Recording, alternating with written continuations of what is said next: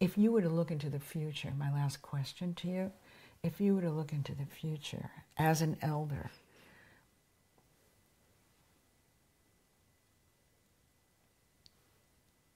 what would be?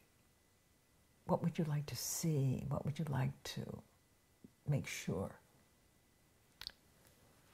It's interesting. I, in some ways, don't look into the future. Mm.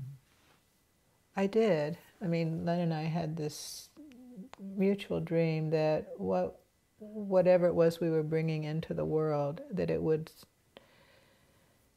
it would have an organic um, life Mm. And also, I realized it would die someday, like everything. It would, and then it would be reborn in some way. Mm. Um, so I've had a vision about, quote, this work or this vision, and it's happening. It's I meet people now who studied with someone who studied with someone, whatever, and we have something in common. I would love, obviously, for the world to be more peaceful and people to be more, whatever, more alive. But I realize it's not my responsibility, and I have, whatever I envision, I'll either be disappointed or I'll feel, oh, I told you so, kind of thing. And I, I, I kind of let go. I mm. think because I was so ill and I thought I had no future, mm. I let it go. And what did the illness teach you?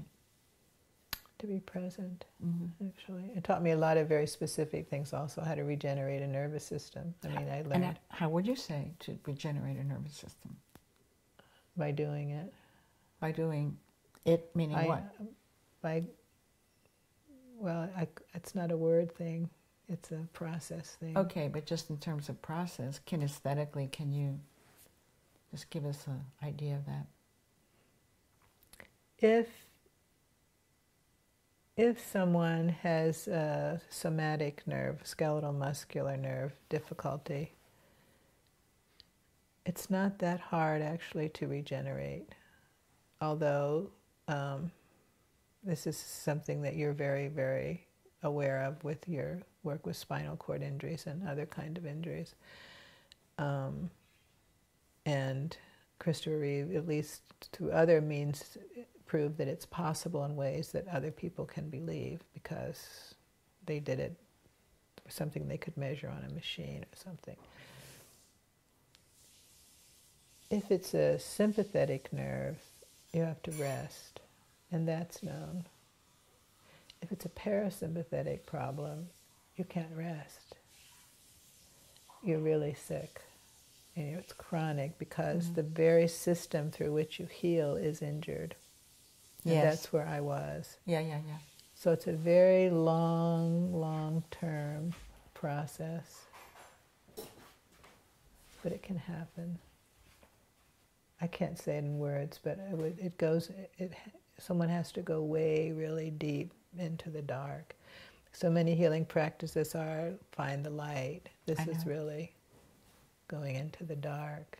You know, I just, uh, uh, I've been working in the dark for several years now because I do feel that that is the gestating mm-hmm.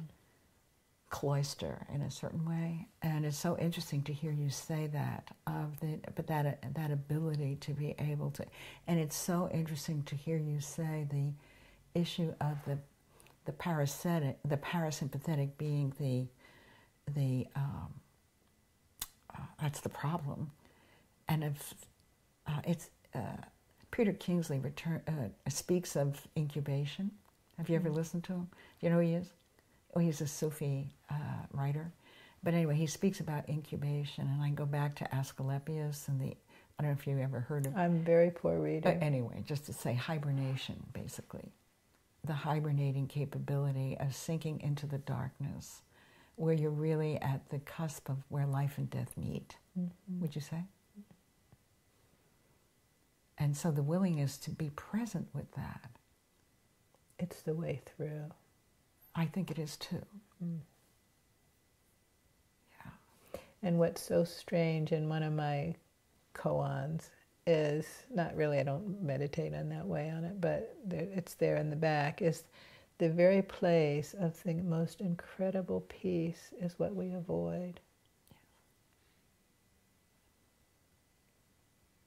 Oh, that's I I can't get better than that.